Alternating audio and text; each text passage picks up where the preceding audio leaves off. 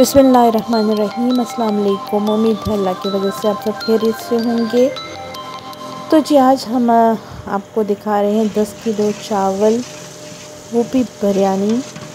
आप घर में कैसे बना सकते हैं किसी दुआ के लिए, किसी फ़ंक्शन के लिए?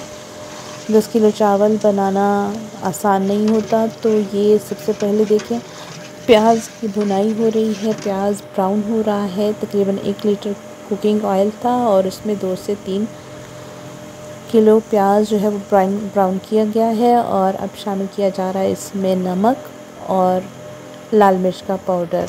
और थोड़ा सा पानी डाल के इनको भुना जा रहा है।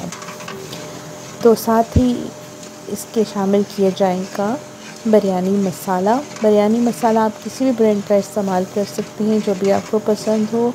और यहाँ भी शामिल किया जाएगा नेशनल बिरयानी मसाला, के दो पैक्स। चिकन वगैरह नहीं शामिल किया जा रहा सादे चावल बनाए जा रहे हैं, लेकिन टेस्ट इनका बिल्कुल असल बिरयानी जैसा होता है। बहुत ही अच्छे टेस्टी और मज़ेदार चावल ये होंगे। तो बिरयानी मसाला शामिल करने के बाद उसकी भी बुनाई की जा रही है। शक्ल से आप देख रहे होंगे मसाला कितना अच्छा सा भुन चुका है और भुनने के बाद इसमें शामिल की जा रही हैं हरी मिर्चें। हरी मिर्चों का अपना ही एक टेस्ट होता है चावलों में और बहुत ही अच्छी खुशबू आती है इनकी, जब भी आप कोई चावल वगैरह बनाएँ इस तरह से तो।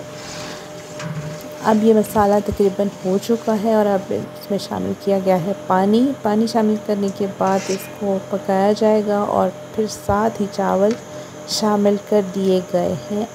चावल शामिल करने के बाद इनको इनका पानी खुश्क होने के लिए तेज़ आँच पर पकाया जाएगा ताकि इनका पानी खुश्क हो और इनको दम पे रखा जा सके। तो ये जी पानी खुश्क हो चुका है और अब चावल दम पे जाने के लिए तैयार है। दम के बाद ये हमारी मज़ेदार सी बिरयानी तैयार है। दुआओं में याद रखिएगा। अल्लाह हाफिज़।